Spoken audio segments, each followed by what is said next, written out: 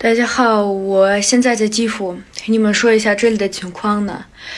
其实我们今天早上五点半睡醒了，是因为有一个很大的声音让我们睡醒。呃，现在就说出来心里怎么说呢？其实我们也不知道这个声音到底是从哪里来的，但是你们应该是能猜出来。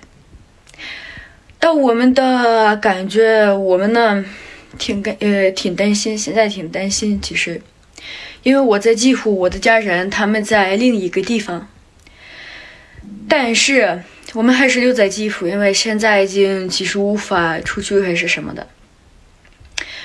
我会给你们说一下这个情况，今天经常点更新，不让大家太担心我们。谢谢你们的支持。今天没有化妆，希望你们能理解，谢谢，爱你们。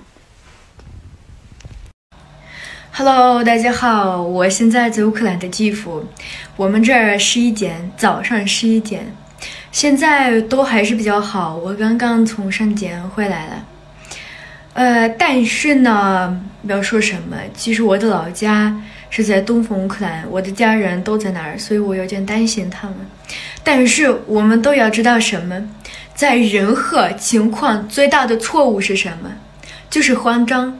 所以我们现在不要慌张，我们不要担心，我们要相信会有美好的明天。